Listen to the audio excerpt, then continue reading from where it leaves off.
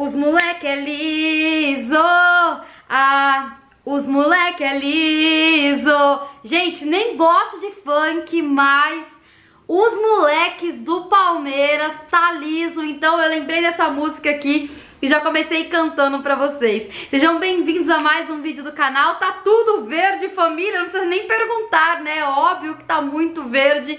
É, deixa aí o like, se inscreva no canal se você não for inscrito. Seja bem-vindo ao canal se você está chegando agora. Tem muita coisa para falar nessa partida de hoje entre Palmeiras e Delfim, no qual o Palmeiras fez um placar de 5 a 0. E eu confesso para vocês que eu não gosto de falar placares. E a minha amiga veio o jogo aqui em casa hoje e ela brincando perguntou, ela falou assim, ah, eu acho que vai ser 4 ou 3, eu não lembro exatamente o placar dela.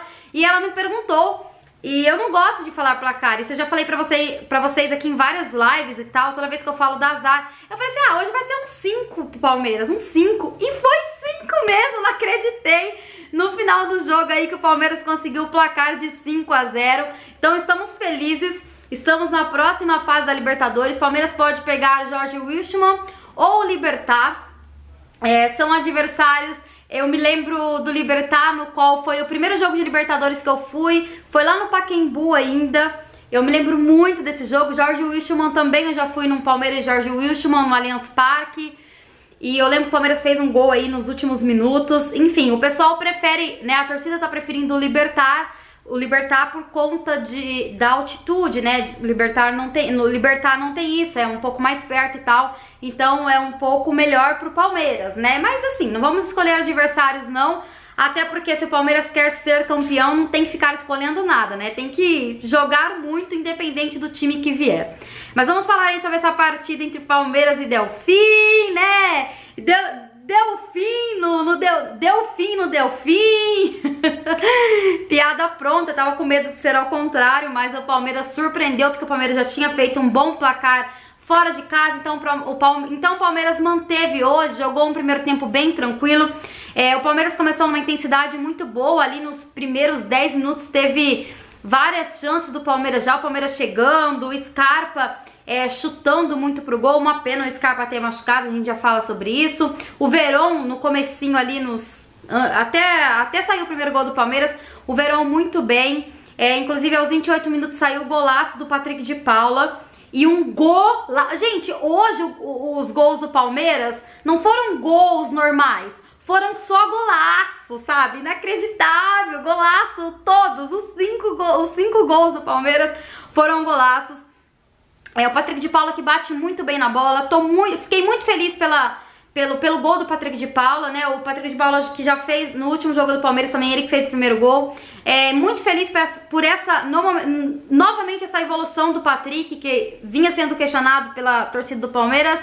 É, eu sim, eu cheguei a questionar ele algumas vezes aqui, mas sempre com cautela. Eu sempre falei pra vocês que era um menino que ainda podia muito mais.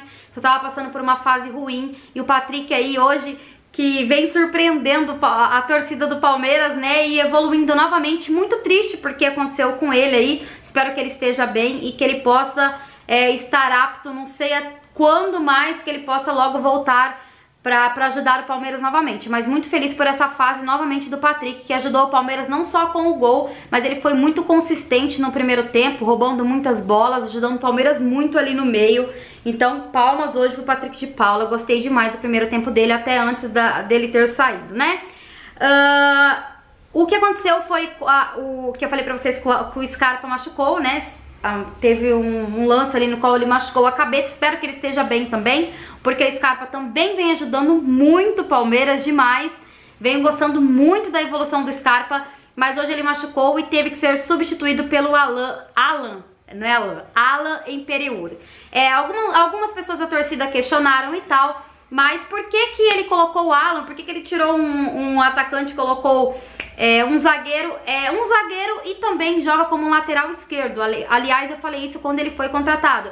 Ele é um lateral, ele também joga como lateral esquerdo, mas e por que, que ele colocou o Alan? Para colocar o Vinha um pouco mais adiantado, né? E o Alan fez mais a linha de três ali com Gomes e com Luan. Gomes e Luan também que foram muito bem. Ah, Cássia, por que, que tirou o Emerson Santos que vinha numa sequência boa? Porque antes do Luan é, desfalcar o time do Palmeiras, ele também vinha fazendo uma boa dupla com o Gomes. Então já era nítido, né, que quando ele se recuperasse mesmo, é, provavelmente o Abel colocaria ele novamente como titular, então não, não temos o que reclamar, né? Saiu um, entra outro e mesmo assim é, fica no mesmo nível ali a defesa do Palmeiras, então acho que pra mim isso é maravilhoso.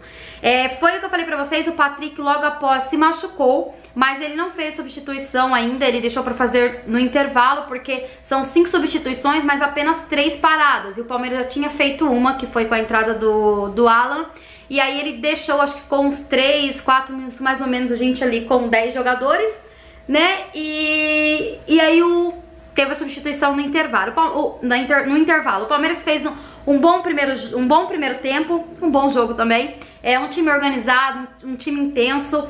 É, já tinha falado isso pra vocês em outras partidas. É assim, é lindo de ver hoje o Palmeiras jogar, dá vontade realmente de assistir, dá muita vontade, sabe? Você fica ali esperando é uma goleada, segundo, terceiro, quarto gol, sabe que o Palmeiras não vai fazer um golzinho só e recuar. Você sabe que quem for entrar como, como substituto, é, quem for ali é, entrar pro segundo tempo, ou que machuca um jogador do Palmeiras, que, que infelizmente continuamos a onda de azares aí, né? Um sente a, é, um machucou a cabeça, o, o Patrick de Paula que, que saiu sentindo a coxa, parece que foi um estiramento, não sabemos ao certo quanto tempo ele vai ficar fora ainda, mas eu trago informações para vocês depois. É, mas apesar de tudo, de toda essa onda de azar aí, que sempre tem um jogador do Palmeiras que se machuca, né? O Palmeiras tem substitutos à altura, que a gente sabe que vai entrar e a gente pode ficar tranquilo. Inclusive, algumas pessoas perguntaram, eu vi algumas pessoas, algumas pessoas se questionando por que, que o Rony hoje estava no banco, gente. O Rony estava no banco porque ele sentiu é, algumas dores na coxa direita, então o, a, o Abel resolveu poupar ele um pouquinho ali, até porque agora sábado tem clássico, né? E eu acho que foi mais por conta disso que ele fez algumas substituições aqui no segundo tempo, com a entrada do Zé Rafael no lugar do Patrick e com a entrada do Veiga no lugar do Lucas Lima. Lucas Lima que fez novamente um bom primeiro tempo, vejo uma evolução muito grande do Lucas Lima, do Veiga, mas justamente para descansar. E a entrada do Zé Rafael e do Veiga só fez ainda mais o time do Palmeiras melhorar do meio para frente, atrás a gente nem sofreu, né, gente? Nem tivemos, assim, praticamente não teve nenhum perigo de gol ali que o Palmeiras sofreu. Então, é, o Palmeiras melhorou muito com a entrada desses dois jogadores. E aí saiu o gol do Verón. Um gol, um gol frio, né? Uma frieza do Verón ao tocar aquela bola por cima do goleiro em um passe do Danilo. Não sei se vocês perceberam, mas saiu o passe do, dos pés do Danilo. Gente, o Danilo vem jogando muito mesmo. É, eu falo que é uma pena, né, que teremos tantos desfalques de, de, volantes agora no jogo contra o Santos. Não tem o Danilo, não tem o Gabriel Menino que vai estar também. É, por, é, o Danilo e o Gabriel Menino são por cartões. É, agora o Patrick de Paula que machucou e teremos aí dificuldades, mas o Abel com certeza vai dar jeito aí, vai colocar com certeza um substituto, até porque o Zé Rafael ele entrou também como segundo volante, né? Ele joga muito bem ali, mas o Abel vai dar um jeito, então um, vai dar um jeito, então muita calma nessa hora. É o William também que fez um gol em uma ótima assistência do, do Verón. Então foram dois gols do Verón e uma assistência, né? E depois saiu o Vinha e entrou o Mike também para poupar. E outra, como eu falei no último pós-jogo, o Abel tá fazendo essa mesclagem justamente pra... Porque ele falou que não tem tempo de treinar o time do Palmeiras. Então ele precisa ali, mesmo no jogo, ele faz um jogo e ao mesmo tempo um treino, né? Então por isso algumas substituições questionáveis, porque algumas pessoas da torcida ainda ficam questionando. Mas gente, tá dando certo, não vamos cornetar não. Saiu outro gol do Verón, né? Um golaço, como eu disse, gente, todos os gols hoje foram golaço. Acho que do William, o do William foi o único que não foi ali golaço, porque o William é, eu até achei que ele fosse errar aquele gol, tomara que tenha sido pra lavar a alma dele. O William que não foi muito bem no primeiro tempo, é, mas eu fiquei com medo dele errar, mas ele fez e isso é importante. E aí também entrou o Gabriel Silva, né? E saiu o William e o Gabriel Silva que deu uma assistência, ele errou um gol também feito ali, que Ai, gente, não vou cornetar não. O menino é novo ainda e eu acho que ainda precisa de, de muitas oportunidades, assim como teve os outros jogadores da base do Palmeiras aí. E foi um gol do Danilo, mas em uma assistência do Gabriel Silva. Eu acho que o Palmeiras está muito bem ali de atacantes, o Palmeiras está muito bem é, de jogadores que, que vêm da. Que, dos jogadores que subiram da base.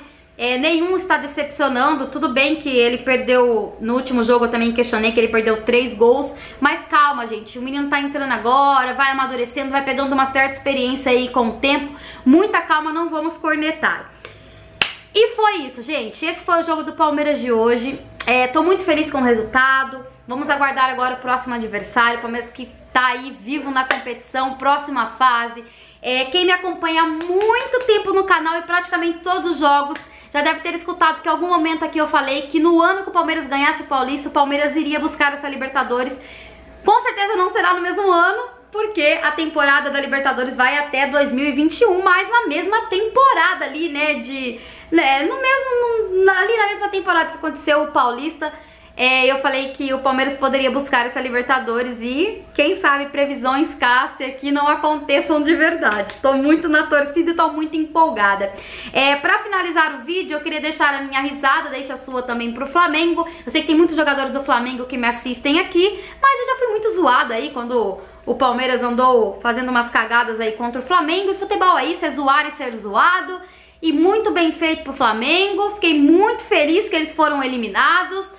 E é isso, né? Que o Palmeiras ainda consiga brigar até, até mesmo pelo Campeonato Brasileiro também. Estamos vivos na competições e hoje o Palmeiras comemora cinco anos atrás o campeonato é, da Copa do Brasil, no qual eu assisti do lado de fora. Gente, perdi emprego, é, cheguei em casa de madrugada, dormi em em, não, cheguei em casa de manhã, tive que dormir em rodoviária.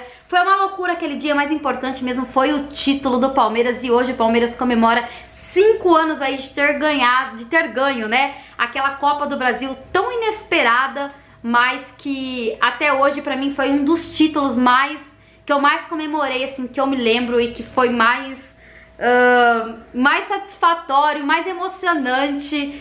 É um dos títulos que Gente, perfeito, por tudo, por tudo que foi, por tudo que eu passei pra assistir. Então, é isso, gente. Bom, esse foi o pós-jogo. Fiquem ligados no canal aqui que qualquer novidade, qualquer notícia eu trago pra vocês, principalmente sobre a lesão aí do, do Patrick. Eu vou tentar buscar informações sobre e trago pra vocês. Um beijo, muito obrigada por ter assistido esse vídeo até o final. Deixe o comentário de vocês que é muito importante. A gente se vê aí. Até mais e avante palestra.